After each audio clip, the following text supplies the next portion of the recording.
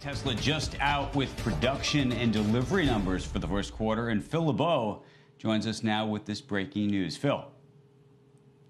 Andrew, the numbers of uh, for deliveries for Tesla in the first quarter far exceeding expectations. The company delivering just under 185,000 vehicles. Now remember, that's not just in the United States, that's worldwide. So global sales for the first quarter of 184,880 vehicles. That's an increase of 109% compared to the first quarter of last year. The consensus, by the way, was for deliveries of 174,000. Hey, I'm Steven and this is Solving the Money Problem. If you're new, welcome. If you're not, welcome back. So, guys, girls, make sure you're sitting down for this one. We have some astonishing news this morning.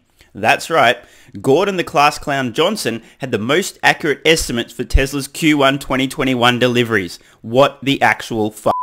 April Fools. Wait, oh, it's not April Fools, and I'm not actually joking. Of course, there's probably method to Gordon's madness there. Try to overestimate Tesla's deliveries so they obviously miss, and then they turn out being much closer. But in either case, guys, Tesla once again, another quarter, another quarter with record production and record deliveries, and sure there'll be many other records that flow on as a result of that as well. So in this video, I'm going to talk about the potential implications of this astonishing news, Tesla once again blowing away estimates for deliveries surprising everybody, including most Tesla bulls. I'll talk about the implications for Tesla stock, the first trading day after this news being Monday. The market's closed as I record this for Good Friday. Certainly is a Good Friday. I'll also talk through the implications for Tesla's Q1 financial results and full year 2021 financial results. I'll speculate on how Tesla pulled this amazing feat off with no production of Model S or X for the entire quarter. I'll also share my most recent 2021 full year delivery estimates for Tesla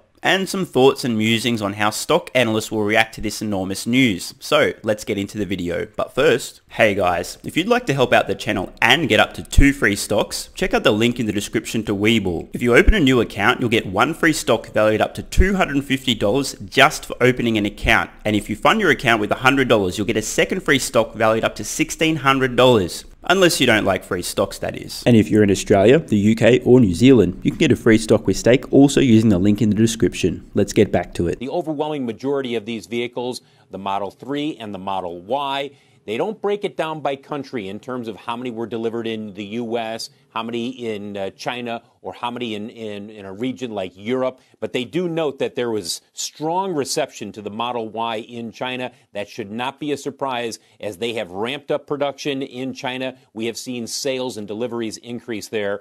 The big question now what happens to the consensus estimate for full year deliveries? It currently stands at about 831,000. We do not have an official guidance from Tesla at this point.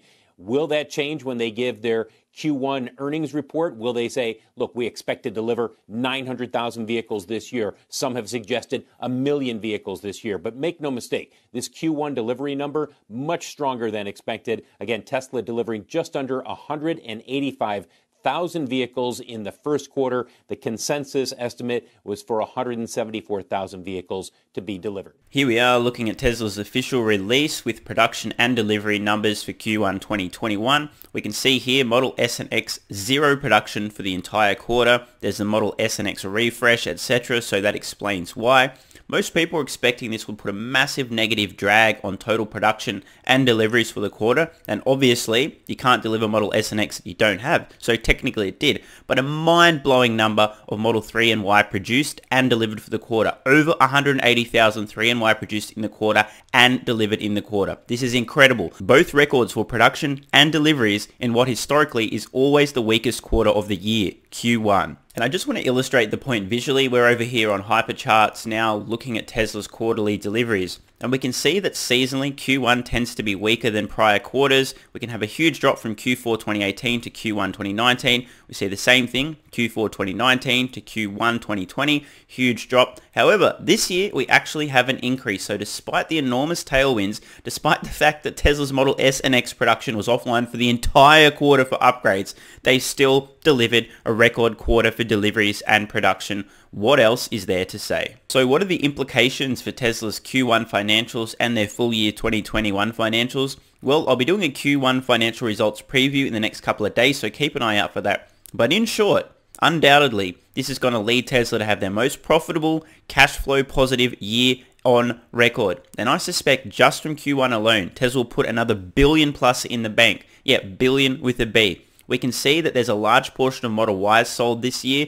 Most of those I suspect coming out of Shanghai. I think most people have dramatically underestimated how quickly Model Y would ramp in Shanghai. And I think people have also underestimated how quickly Tesla can go from producing a vehicle to getting it in customers' hands. And if any of you wonder how robust is the demand for Model Y in China, it recently received a price increase and sales have been unchanged. Showrooms still completely packed, huge demand for this vehicle and we're just getting started. I suspect towards the end of this year, the Shanghai factory will be ramped to about maybe 750,000 units of annual volume per year, maybe even higher. And I think most of that's going to skew heavily towards the Model Y. So keep a close eye on Shanghai production and the mix between Model 3 and Y coming out of that factory. In terms of how Tesla pulled this one off despite no S and X production, we can see in Q4 2020, Tesla produced about 16,000 Model S and X, delivered almost 19,000 S and X, and in Q1 2020 this year, zero production and just a couple of thousand deliveries on both because production lines were down for the upgrades. What do you guys suspect is going to happen in Q2?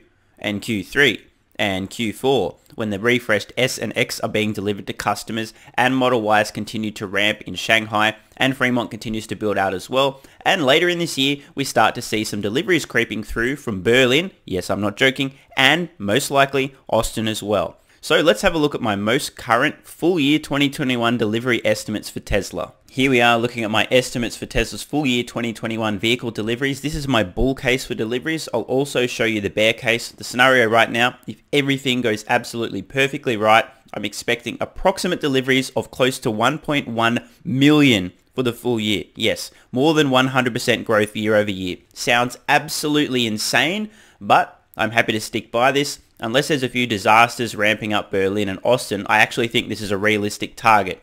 Now, let's look at the bear scenario just to see the difference between the two. The bear case here, around 940,000 vehicles delivered if lots of things go wrong. I'm still including some production from Berlin and Austin in these estimates, about half a million from Fremont, about 360,000 from Shanghai. I actually think Shanghai could be a big surprise on the upside this year. I don't know for certain, but the speed at which Tesla is able to ramp their new products, the fact that they're integrating things like the gigantic casting for the Model Y, deleting hundreds of parts and processes, is speeding everything up, and it's also allowing Tesla to produce more vehicles out of the same factory footprint. So don't be surprised if the numbers out of Shanghai continue to surprise to the upside month over month, quarter after quarter in terms of deliveries. In either case, I expect Tesla this year to deliver somewhere between 900,000 to 1.1 million vehicles. And yes, I'm on the record. Please keep me accountable. Set a reminder, check back in in about 12 months time. So what does this mean for Tesla stock and how will analysts react? Well, I don't have a crystal ball, but I suspect next week, especially in the first few days, as people absorb this news and realize that Tesla blew away all expectations despite not producing any of their Model S and X for the entire quarter, people are going to realize, holy shit, these guys really are ramping fast damn, the rest of this year is going to be way better than we expected. I think a lot of people, whether it's retail investors or stock analysts on Wall Street, are going to be revising their expectations up and expecting Tesla to absolutely crush it. Of course, this has been a recurring theme, right? Every quarter, Tesla blows everyone away again. Then a few more people go, oh, well, they're growing faster than I thought. Buy Tesla stock.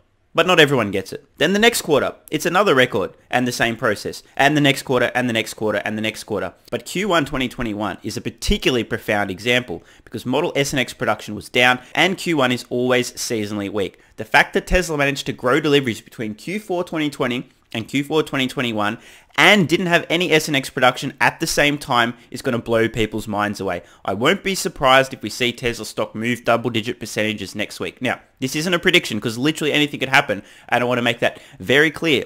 But my gut feel, which is very unscientific, but it's all I've got to go on, is that we're likely to see Tesla stock put on plenty next week as people realize the estimates for the full year, which already sounded extremely bullish, were actually way under the mark not even close to where Tesla's actually going to be. The Wall Street consensus for deliveries for the full year, around 830,000, not even close. This consensus is going to creep steadily towards 900, then 950, and probably towards the end of this year, it's going to be up around that 1 million mark, unless there's been a few train wrecks along the way, which show to us that Tesla's not likely to hit that goal. In summary, There's a huge number of positive catalysts throughout the rest of this year as Tesla continues to grow deliveries and production faster than anyone expected. There's going to be more upward revisions every single quarter until the year's done, in my opinion, and that's just going to provide a very strong tailwind for Tesla stock. I just want to leave you guys with some final thoughts. It seems to be the case that the market overall still continues consistently to underestimate Tesla. Even most Tesla bulls this quarter completely underestimated the number of vehicles that Tesla would actually be able to deliver.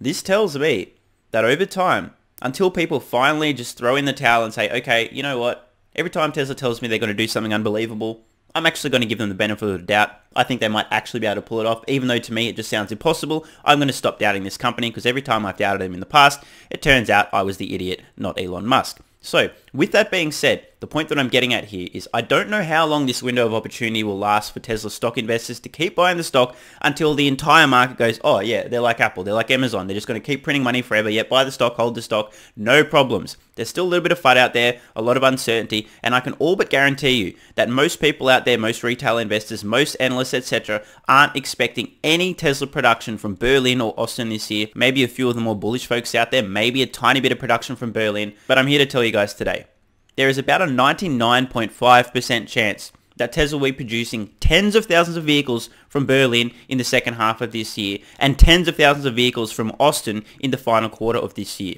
If things go really poorly, maybe this doesn't play out. But based on Tesla's past track record and execution, how quickly they're learning, how smoothly Shanghai ramped, I don't have any reason to doubt that Tesla won't be delivering tens upon tens of thousands of vehicles from both of these new factories. And I don't think the stock market is anticipating this. Moral of the story? I think I'll let you guys figure that one out today. Let me know your thoughts in the comments below. What's your prediction for how many vehicles Tesla will produce and deliver in the full year 2021? I'm Steven Mark Ryan. This is Solving the Money Problem and I love you all. And don't forget, if you'd like to help out the channel and get up to two free stocks, check out the link in the description to Webull. If you open a new account, you'll get one free stock valued up to $250 just for opening an account. And if you fund your account with $100, you'll get a second free stock valued up to $1,600. And if you're in Australia, the UK or New Zealand, you can get a free stock with Stake also using the link in the description. Thanks so much for watching. Let me know your thoughts in the comments below. And of course, if you have any ideas for future videos, let me know. I read all your comments comments. P.S. If you're still watching, you're awesome. If you'd like early access, exclusive videos, regular Q&As, our private Discord server and more, consider supporting the channel at patreon.com slash solving the money problem so I can keep creating content for you guys. There's a link in the description. You can now also become a member of the channel for some exclusive perks. To learn more, click the join button next to subscribe. And don't forget to check out our merch store. Either way, the best form of support is you being here and watching, so thanks again.